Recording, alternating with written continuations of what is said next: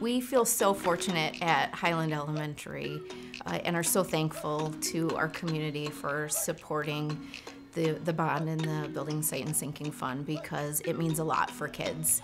We know that when students are physically safe and they feel emotionally safe, that's when their best learning can happen. So we feel really good that we have a new safe and secure entrance. We have the windows out front.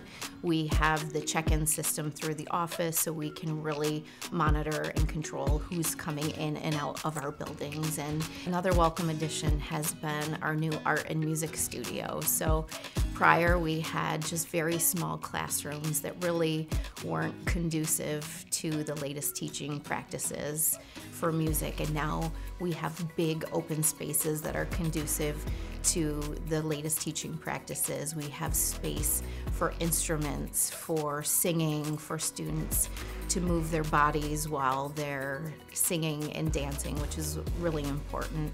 Now, the students would say that the best addition to Highland Elementary for sure would be the lockers. For the first time ever, they have a space to put all of their things, and they've had so much fun even decorating the inside with little mirrors and pictures of their family or of their, their favorite superhero. So that's been fun to see how excited kids are to have a space to put their things.